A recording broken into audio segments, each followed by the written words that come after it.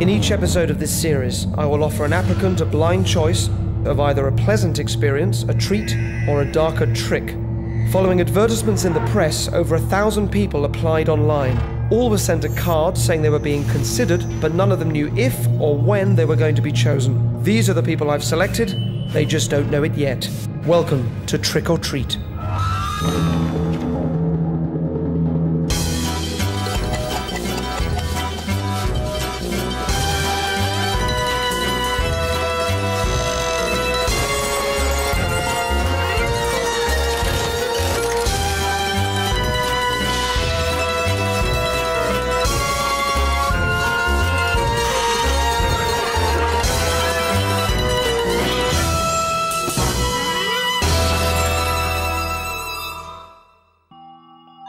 Would you ever kill a kitten like this for no other reason than you were told not to?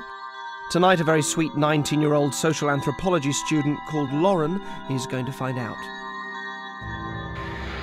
Here is Lauren. Having decided we'd like to use her, we're secretly filming her to see more of what she's like. Aside from being a student, we see she lives at home with her mum and her cat. Her online questionnaire suggested to me a bright girl, eager to present a positive personality to the world, but with a tendency to be a little held back by self criticism, a very human trait. I've created for her a scenario that will show her the destructive power of thinking negatively instead of positively. As with all the participants, I leave a few hints lying around for her to find or miss that she'd been chosen and that her experience was about to begin.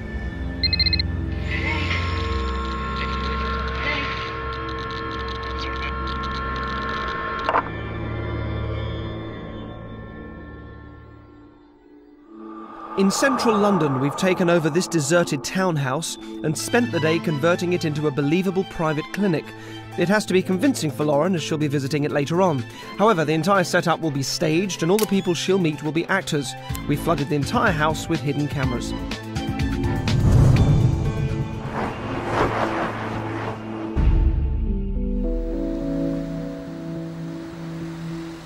Lauren was called by our office and told that all would be participants had to undergo a standard psychological profile. She was invited to our fake clinic, believing she was one of thousands being interviewed. Hi there. Hello. She's been asked to bring a childhood toy with her, which will play a role later. Unknown to Lauren, this is all for her.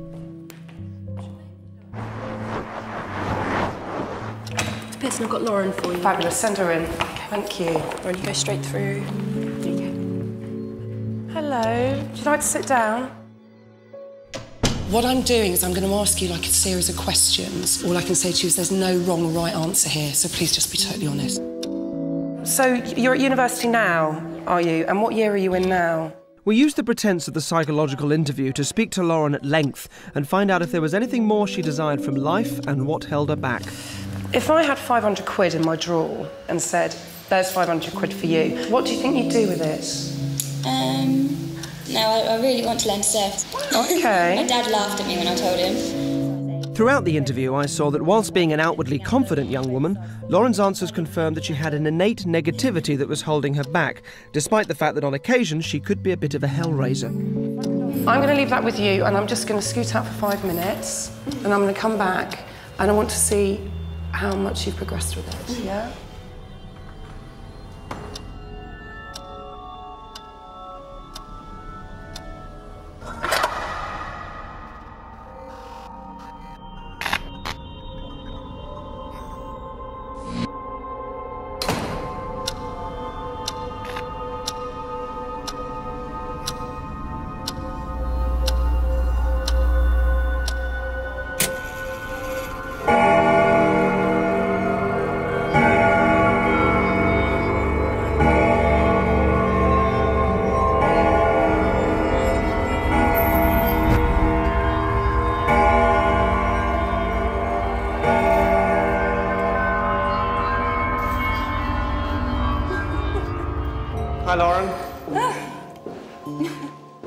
Just head over, pop over to the table?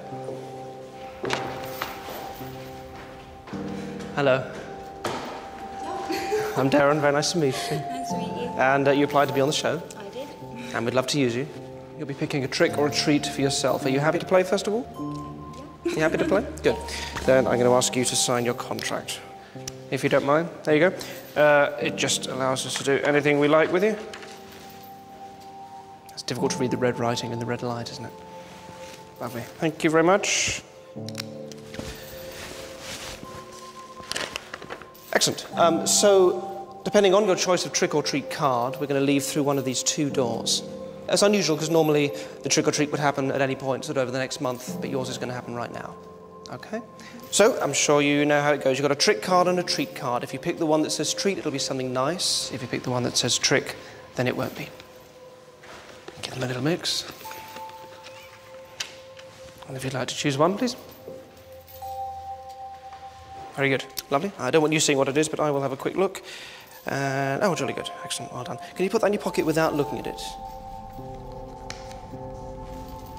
Good. So as I said, your trick or treat is going to happen right now, and because you picked that card, we're going to go through this door here. All right? Do you want to come with me?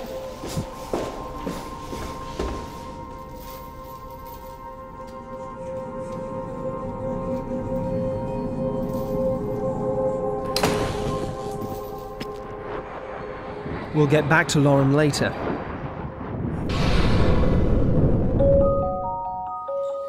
Tonight, Lauren's going to experience an extreme example of something called negative suggestion. Throughout life, we are surrounded by negative suggestions, and these start early in our childhood when we're told, don't do this and don't do that. The point is, the more we try not to do something, the more likely we are to give in and do it. Children are particularly prone to negative suggestion, and to show you this idea in its simplest form, I made a box that has a big red button on the front. We set the box up in a classroom we'd rigged with hidden cameras, brought in some midgety things to help out, and told them not to touch it. You've got to guard this. It's a box with a surprise in. Okay? Will you guard it for me? Don't look inside the box. Don't open it. So, my negative suggestion there, don't look inside the box, is designed to sit heavily on their minds and stoke their curiosity. We can't look in it. Don't press that little button.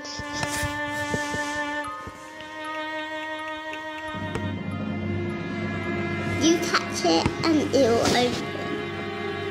Touch me.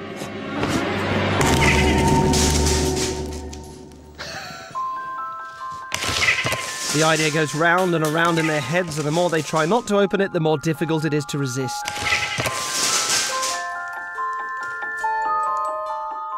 A hand came out and pressed the red button. Oh, a hand came It was out. a right, visible so- hand. right. And, and I was so scared. And, and it hit me. And it opened the box. This rebellious urge to fight commands telling us not to do something is founded early in life and can carry on over into adulthood. Curiosity plays a role too. We wonder what will happen if we do the thing we're trying not to do, and tend to give in because that childlike naughty urge won't go away.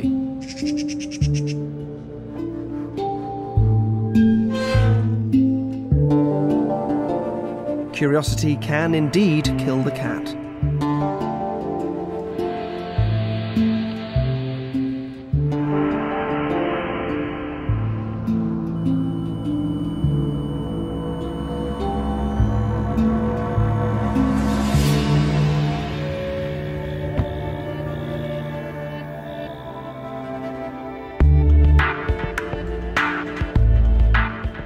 Lauren's trick or treat is about to put this notion to the test in the most extreme way possible.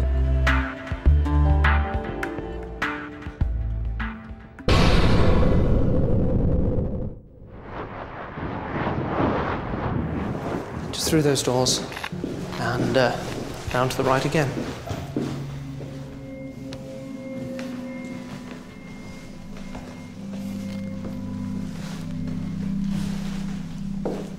Just come over here for a second?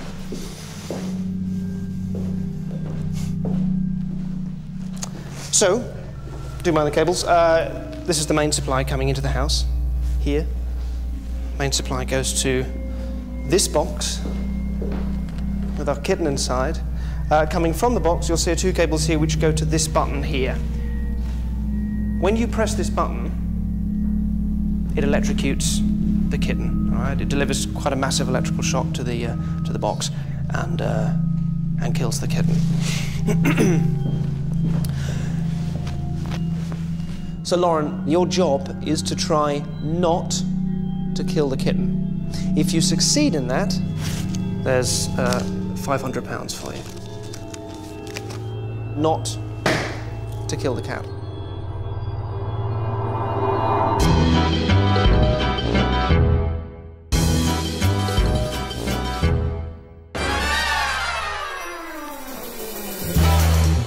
Zippo's Circus is the home to some of the loveliest people I've ever met and some of the most extraordinary performers.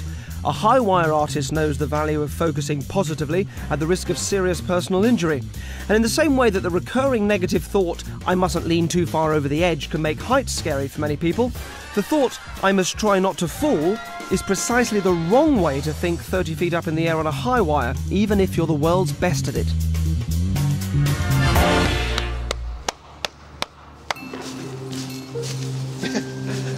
Henry. How are we doing? Uh, fantastic. Amazing watching you uh, watching you do your stuff. You're in the Guinness Book of Records Yes, for skipping, with a Skipping. rope. What is that and what exactly is the record for? It's uh, the, the most skip in a minute on the high wire With a rope. with a rope, skipping at at the same time. So you've been doing this since you were 12. You're 27 now. Yeah. Have you ever fallen off doing that trick? No. No. So far, no. Love to see you do it again. Thank you very much. And uh, what I'd say is this I'm going to go over here. Don't worry about what I'm doing. Don't worry about any of that. You just focus on not wobbling and not falling off. I'd like you to go and do that again, okay? Just make sure you don't wobble and fall off. Brilliant.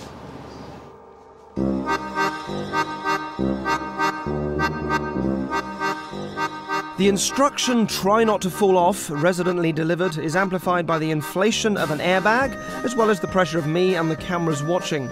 Henry's unconscious is, for the first time, thinking in terms of I mustn't fall off, which can only take him one way.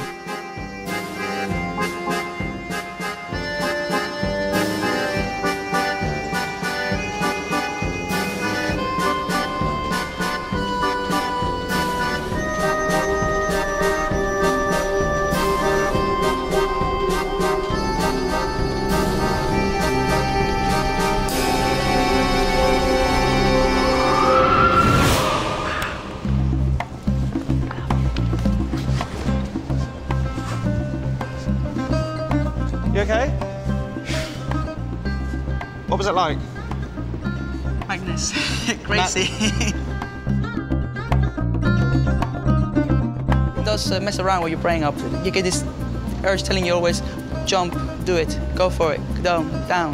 Then you get this side saying, done, stay, stay, stay. You know, it's, it's very hard, very hard.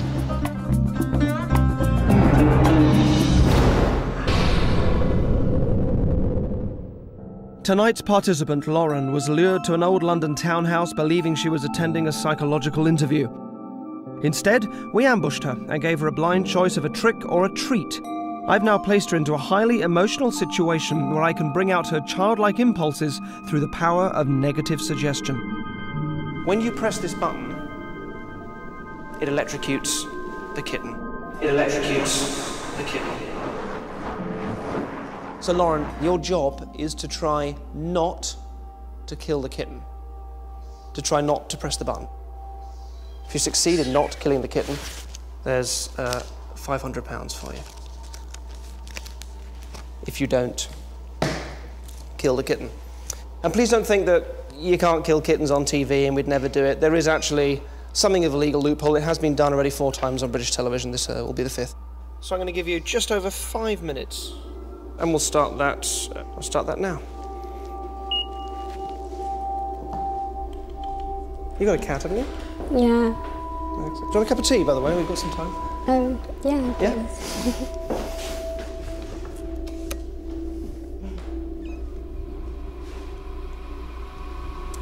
I'd uh, try not to think about it for a bit if I were you.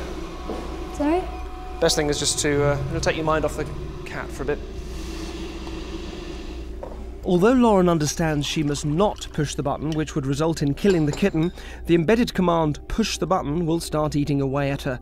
As we've established, children are far more open to negative suggestion, so I'm going to increase the pressure by regressing her back to a more susceptible time. There we go. Sorry, there's only um Honey orange squash. Mm. Cheers.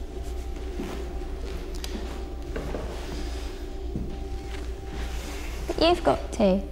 Yes, I know. Annoying. Sorry, I've had enough of one. But you won't want that one. Draw something for me. Come over here. Just a minute. Bring that. You can bring that with you if you like. Great. Draw something for me. Anything you like.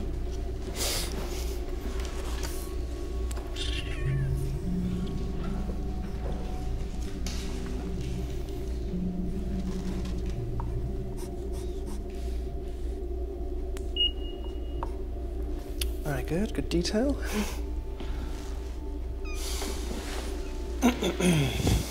cool. Um, did you bring a toy with you for the Yeah. psychological test? What did you bring? I've got a dinosaur thing that there used to be in a TV programme and I bought a teddy as well. Which did you prefer when you were little? I can remember more about the teddy. What's the teddy's name? Scriffy. Scriffy? I don't know why. It's a great name. it's funny how those names just take you back, doesn't it, to uh, to when you're that age. Just do me a favour, just close your eyes and just do that. Just use the image of Scruffy there to go back in your mind to a memory. A memory from when you were much younger, preferably one when you were being a little bit naughty or a little bit mischievous. And when you've got something in your mind, just tell me what you see. Um, I'm tucked up in bed with a quilt over me. All the teddies are laid up next beside me. My dad's sat on my bed and taking different ones and making them talk to each other. And how does it make you feel when you think back and you remember that? How do, how do you how do you feel really as it's doing that? funny. Does it make you laugh? Does it make you laugh? Yeah. And when are you most mischievous? I used to try and put makeup on. Yeah, it was all my mum's makeup. And it felt a bit naughty, felt a bit mischievous? yeah, because it was a grown-up thing to do and I shouldn't have been doing it. And how is that feeling to you? It's exciting, so I've got all these different colours and all these eyeliners and pencils and brushes and everything. Feels good, doesn't it?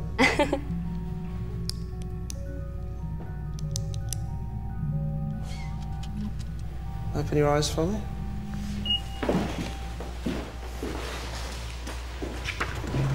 Draw me another cat.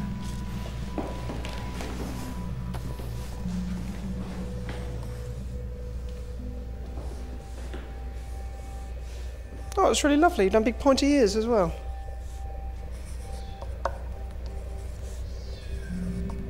Want to give it some whiskers too? That's lovely. Do you want to write your name at the bottom as well? Then we know it's yours.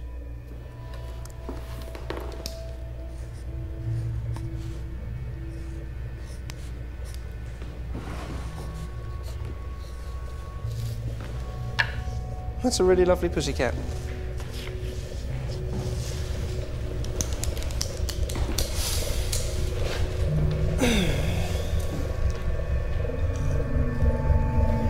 Hmm.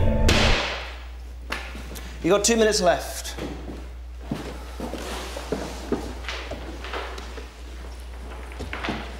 Excellent. That's two minutes, starting now. Good luck. Oh, and Lauren, whatever you do, don't press the button.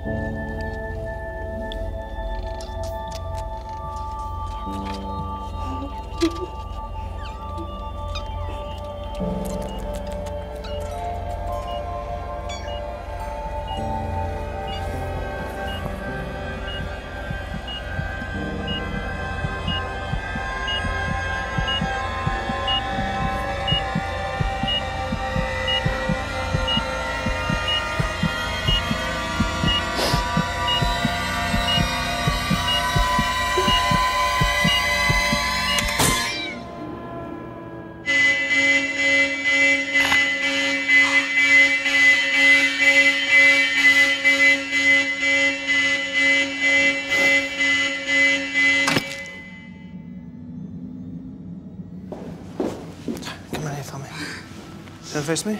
Look at me. Just close your eyes. Okay, so the first thing is this. You have not killed the kitten. The kitten's fine. It wasn't wired up to the box. So that's fine. You can relax about that now.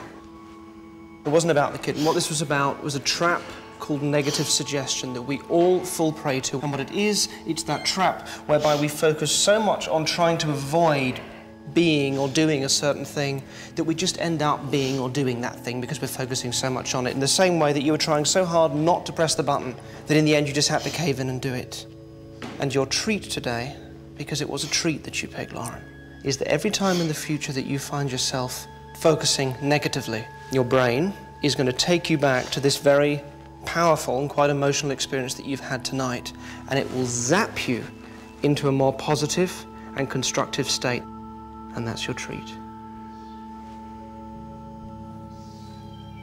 And of course, it was a treat. So I'll have your treat card off you. Congratulations. and of course, technically, you didn't kill the kitten, so you win uh, £500. What are you going to spend it on? I'd love to go surfing with it.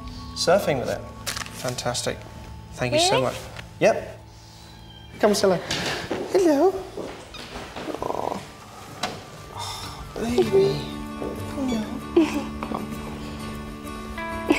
He's gorgeous. He's lovely. Enjoy your surfing. I'll leave you with Kitty. Uh-oh.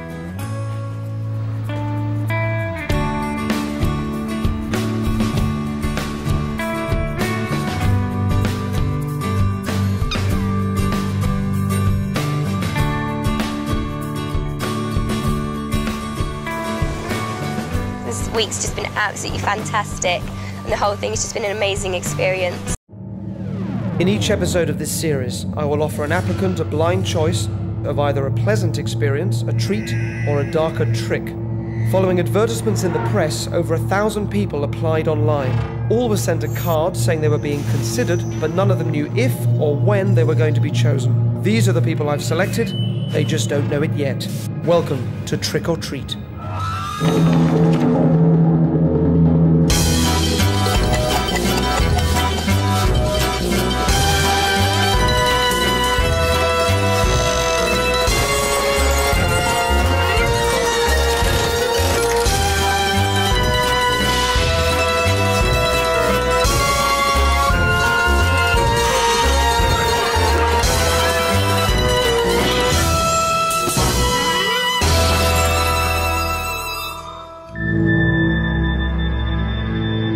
Tonight's applicant is Glenn, who we're secretly filming here. Glenn's a 40 year old father of two from Essex. He's an aviation insurance specialist. He reads Stephen King. He loves Star Trek, regularly goes to watch West Ham, plays poker, and hates heights. He considers himself of average intelligence but says he doesn't have a good memory. And after monitoring Glenn and his life for several days, the idea for his ambush began to take shape. Glenn has come here today for a medical checkup. However, we knew where he was going and so got here a few hours before him. He has no idea what's about to happen. We've placed hidden cameras throughout the building and have also taken control of the lift.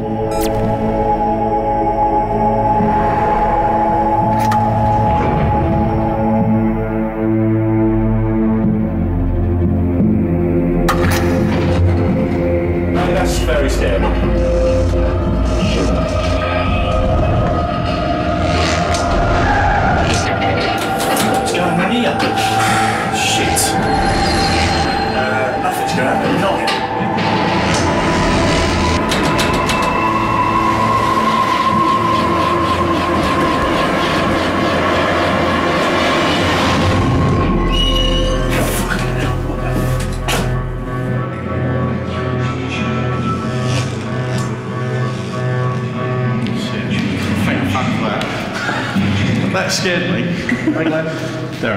you? I'm very well indeed. Now you applied to be part of the show. Yeah, I did. We'd love to use you. Thank you. You know how it works? Do. You're going to pick one of two cards. Right. One says trick, one says treat. If you pick the one that says treat, it'll be something nice. If you pick the one that says trick, it won't be. Do you want to play? I do. Excellent. First of all, you have to sign your contract.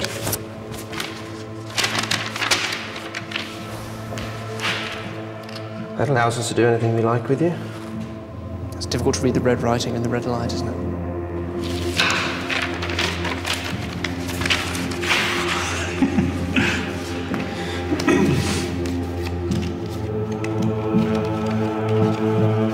Like.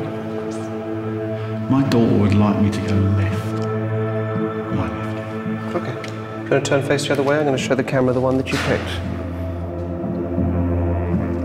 Thank you, Glenn. You can turn back now.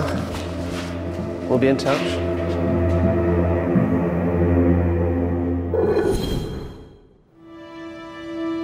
Having ambushed Glenn the previous week, I've invited him to join me at King's College Library in central London to discover what's going to happen to him. Surrounded by almost a million books containing the general knowledge of the world, this is the ideal place to get started. However, what he doesn't know is that the game has already begun. Well, look, um, sorry for the scare the other day, but your scares are over now. You picked a treat. Fantastic. Your treat is uh, going to be this. Uh, today's Wednesday. Yeah. Right. Next Wednesday, there is uh, there's something called the Night of the Champions. Right. And it is the pub quiz of pub quizzes. You're going to enter that competition Right. on your own. On my and own. hopefully do very well. You're going to compete for the prize. And we have between now and then for me to show you how to learn everything. so you're covered. What? Everything, Everything. ever? Everything ever. Pretty much. Now, take, take a seat for a second, because I know. Um, I know in saying this it can sound very daunting. Yeah. And just to demonstrate to you how much better your memory is than you probably think it is at the moment, you leave work in the morning about 8 o'clock, is that right? Yeah. And you make the trip from your house to Gidea Station. uh, Gidea Park Station. There's a cash machine that's just on the outside of that station that you There walk is. past to get to the entrance, yes? Yeah. Now, do you remember walking past it yesterday? No. No? But you just remember you did it in the sense that you, you, you, you know that you did it, but you wouldn't necessarily be able to recreate the scene. There was a woman. What was she wearing, do you remember? She was wearing a red coat. So that's one of us and was part of the group that were watching you. The reason why we chose her and why she was dressed like that is so that she would form a, a, a, like a marker in your mind. There'd be something, because I was hoping that you'd, you'd have a vague recollection of her. Right. However, if I said to you that up above the cash machine there was something different that isn't normally there, there was a sign that we'd put there with a word on. And if I asked you, No. You can't even remember the sign, let No. alone the word that was on it. Not at All right. all. If I said just try and remember what that said, But I can't say that I actually remember seeing something like that. So, uh, close your eyes. You're coming out of your house. You're crossing house. over the road. You are a little bit flustered. Yeah. So just run that forward in your mind until you start to approach the train station. And just in your mind, just pan up. There's a word on the sign, and as you look at it, just let that come into focus. You're not trying to remember what it is. You're just letting a word come into focus. I keep, I, I strangely keep seeing the word shoe. Shoe. Yeah. Okay. What makes you say the word shoe? I don't know. What makes me say the word shoe? All right, fantastic. I want you to remember what that's like. We filmed Please it. don't be shoe. We filmed the whole thing. Take a look at this. This is going to really freak me out. You are. Blimey. Do you remember this? No. Well, I remember that, yeah. They had no idea we were filming No. you? No. These are on very long lenses, so we're quite far away. It's going to cut forward to when you're approaching the station. So we've slowed this down. No way. Look, look, look, look. No, how'd you do that? There she is. There that is. You didn't even look. What made you say it? I have no. How'd you do that? How did you do it? That's the point. When you tried to remember it, you couldn't. You put that effort into it, it just gets in the way, it stops it from happening. And what we're going to do with these books is the same thing. And the reason why I've shown you this is I want you to know that you can do this as effortlessly. And all it takes is that not trying and trusting kind of what I'm going to ask you to do. I, I'm feeling like that's the most bizarre episode of my entire life. Fantastic. Okay. I'm going to have to expand Glenn's memory capability so that I can teach him to absorb huge amounts of information. This is where you have to just trust me and do this technique because it will feel like you're not really doing anything. You take your right hand and you make this. So that's right, uh, forefinger and middle finger. Is that comfortable for you? Yeah. Yeah. And now you're going to start off probably fairly slowly, moving your fingers down at about that speed. Just do that for me. Now, the internet is bursting with speed learning courses, very few of which ever offer anything of value. I have my own techniques which will allow Glenn to learn thousands of pages of information unconsciously with no conscious awareness of what he's remembering.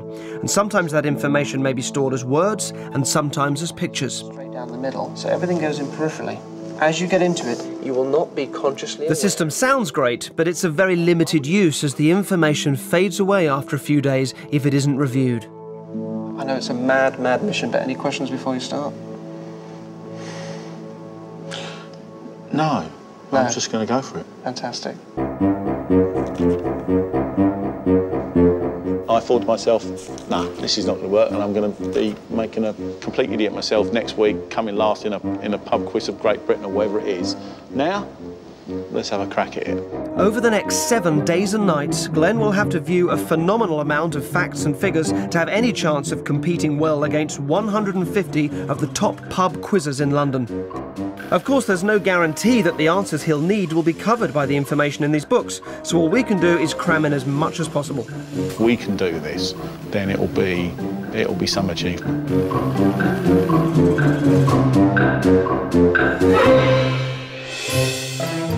One of the techniques I've been showing Glenn is an extension of what some people refer to as a photographic memory. To demonstrate what Glenn will be taking on, I've invited James Hoffman, who is world barista champion as a leading coffee expert, to help me spill the beans. If you can take maybe three big scoops of coffee and pretty much cover the tray okay. with beans, I'd like to try something with that, so I'll let you do that now.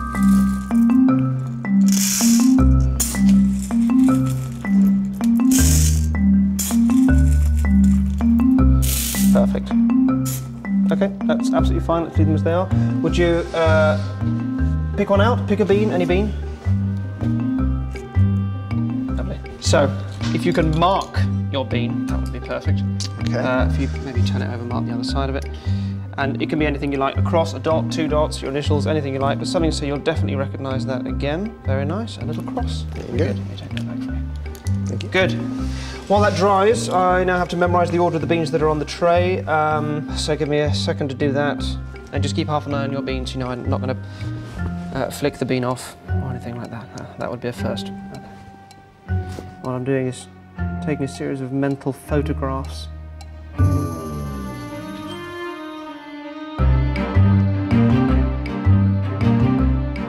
Oh, okay, just do it. I'm going to face the other way. Okay. You're going to place your bean somewhere on top of the, the beans in the tray. And obviously place it with a cross on the underneath. And I will look the other way. Please keep half an eye on me, so you know I'm not going to I'm not to look genuinely. I, I can't see.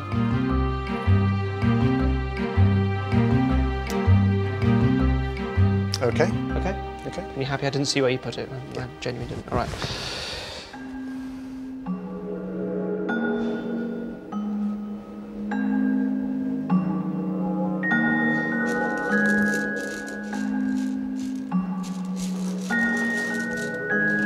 Okay, it's not there.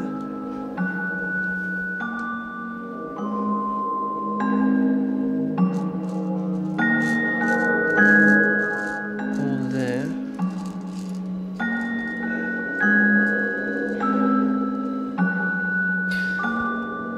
There are 1,347 beans in that tray, and you're more than welcome to count them, but I'm only going to give myself one shot at this. And I think that that, that there is your bean. Come in. Okay. Turn it over. Very good. Show the camera. I'm impressed. Excellent. You can't really cheat that. So yeah, absolutely. Pure memory. Impressed.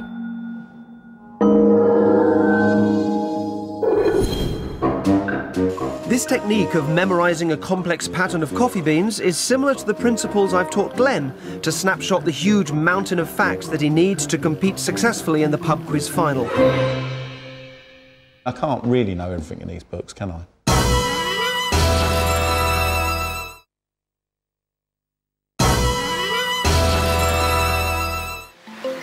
Glenn now only has three days left before he has to compete in the pub quiz Night of the Champions. He's following my techniques rigorously, and we continue to monitor his progress. Glenn will have no conscious memory of anything that he's learning. That's the only way I can make room for the huge amount of information that has to go in. However, after a week of intensive studying, I felt he needed a little boost in his confidence. We met up, and Glenn brought with him a selection of the books he'd been absorbing so that he can test for the first time whether the system is working or not. So, talk me through what you've been doing over the last few days. I've been looking an awful lot of books. Just to let you see that you do know more than you think you know. Um, this is one of the books that you've read? Yeah. Yeah, it's a book on art and artists. Yeah. It's a uh, encyclopedic volume. Looks like it's part of a it's part of a set. I'm going to ask you a question from this. If you tried to work out the answer, you probably wouldn't be able to get it. You'd find that very difficult. So I don't want you to do that. What I want you to do is to imagine that the answer is coming somewhere from the back of your mind, where you've had no conscious awareness of any facts at all, from somewhere in the darkness. Something will come forward, some images, some ideas, which you're going to piece together to form an answer. Worst thing that happens is you're wrong. Does not matter at all. Okay. All right. Um, so, if I asked you, for example, uh, the Camden Town Group, which is a group of British painters, they formed in 1911. Uh, they held uh, an exhibition somewhere in London in 1911 to 1912. If I asked you where that was, Carfax House. Hey! Carfax Gallery, London, 1911 to 1912. So, what made you say that? Just, I could see a car. All I could see was a car, and it was, it looked strange. Yeah. There was something about it, Yeah. and I could see something coming out of it, and it looked like a fax machine. So, So you went Carfax. Carfax. Don't tell me I know everything in these really books. I mean, I can't really know everything in these books, can I? Uh, No, surely not. I don't want to do this too much. Let's just do. Uh, let's just do one more. Amazon rainforest. How many different sorts of hummingbird have been recorded in the Amazon rainforest? 319. no. Right there. Christ almighty. No, I certainly can't know that. How do I know that, Derren? Birdlife is even richer. More than half the world's total of 86,000 species thriving in the Great Green Sanctuary. 319 different sorts of hummingbird alone have been recorded. How does that feel? Scary. I can't, I've taken everything in. Don't even try and work it out. Okay. all right? Just take it on board. Great, I've got it. Take whatever encouragement you can from that feeling of astonishment that you have at the moment, and then just let it let it take you forward. And so, after only one week of looking at hundreds of books, thousands of pages, and millions of words, Glenn's arrived at the Night of the Champions, where 150 of the brightest brains have gathered to compete for the coveted prize of Pub Quiz Champion. With the missing links. Uh, the toucans. Five dogs and one fox. We've won six out of the last seven that we've done. Good questions. They're always good questions. Definitely going to go for winning. You don't quiz if you don't think you're going to win. Although everyone knows we're filming for a TV show, they don't know that it's mine. So I have to hide in the pub garden in the cold to talk to Glenn in secret. Glenn's turned up with his wife Jane for moral support. So I, I gave you some techniques as to how Yeah. to kind of access the information. Like, it feels like there's a huge room in my head with lots of drawers, lots of places to hide things. I've got a fair idea of how to go and get the stuff. Yes. Hopefully it's just going to come. Jane has been told not to talk to Glenn or react or do anything that might help him. The questions have been set by Andy Burns, one of London's most experienced quizmasters. I've had no contact with him, and as with all the teams, he doesn't know that I'm involved. There's lots of smart people downstairs who've been quizzing a very long time, and um, who I, I guess are expecting expecting something tough. They're expecting the best, and uh, I think I'll put something together that would really test them. The teams are made up of between four and six of the brightest people from their area. Glenn is the only person tonight entering this quiz alone. Event on the London pub quiz. The quiz comprises 40 questions, and Andy, the quizmaster, is the only one in the room who knows what those questions are and what subjects they'll be covering. Champions in your own right. You are champions of the own pub. Glenn is clearly nervous and still has no idea if the speed learning I've taught him will be enough to answer whatever questions are asked. So let's get this quiz underway, ladies and gentlemen. This is it. Question one What is the middle name of the current US president? What is another common name for the scarab beetle? I'm not positive for scarab beetle. I had a picture in a scarab beetle, but I can't decipher what the picture means. When Big Ben strikes five o'clock, how many seconds delay is there between the strikes? In fencing, what do you call the resultant fight off when there is a tie? What is the currency in Liechtenstein? Is the equivalent of Venus in Greek? Many weeks for the moon to complete a revolution of I just can't work out where, I knew that. They're all coming to me like pictures, okay? All I can see is quick picture in my head. It's like bang, picture, it's gone. Who's got all three of those? Which club that is currently not in the Premiership has won the most number of league titles? In the year 1992, which English town became a city? Many of Henry VIII's offspring ruled England? Before 1972, what was Sri Lanka known as? What animal, when they gather together in a group, is known as a flange? In which US state did man first knowingly drill for oil? Which Russian word literally means what is the more common name for the Volstead Act? In biblical etiology, which animal became extinct because it was thrown off the ark and drowned? Now what happens is you finish off the answers on your answer sheet and you swap your sheet with an opposing team. And then we're going to find out who has won the 2008 Night of Champions. Here come the answers. What is the middle name of George Bush? It is Walker. What's another common name for the scarab beetle? The dung beetle. How many seconds delay is there between a dong on Big Ben? The answer's five, ladies and gentlemen. In fencing, what do you call the resultant fight-off when there is a tie? It is known as a barrage. What is the currency in Liechtenstein? The answer is the Swiss franc. Question number nine. The answer is Aphrodite. Friends. Question number 11. The answer is four weeks. Which current non-premiership team has won the most number of league titles? Sheffield Wednesday. Which English town became a city in 1992? The answer is Sunderland.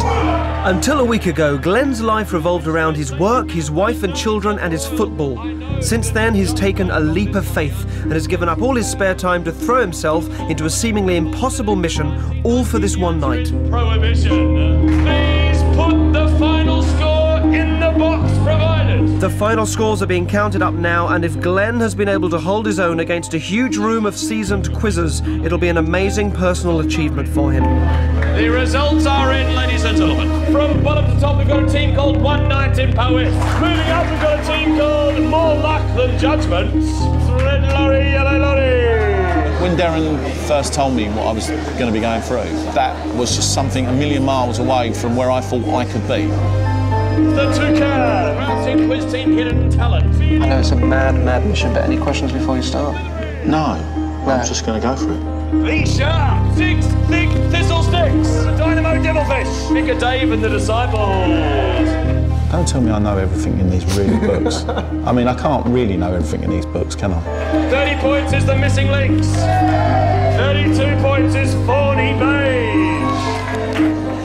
The whole process has been an absolute remarkable experience and something I wouldn't swap for any other experiences I've ever had. 33 points is just Glenn. It's a dead heat for first place, ladies and gentlemen. And so, after just one week competing on his own against the best teams in London, Glenn has achieved the second highest score of the night. Hey. It's difficult to describe exactly how I feel right now because I'm just an ordinary guy with an ordinary background, been taken out of that, put into something that I'd most probably never do, uh, and I've done well, you know. And, and if I can do it, most probably everybody can do it. And some of the techniques I've been taught, um, they were remarkable, and, and obviously they've worked because I wouldn't be standing here with a bottle of champagne in my hand.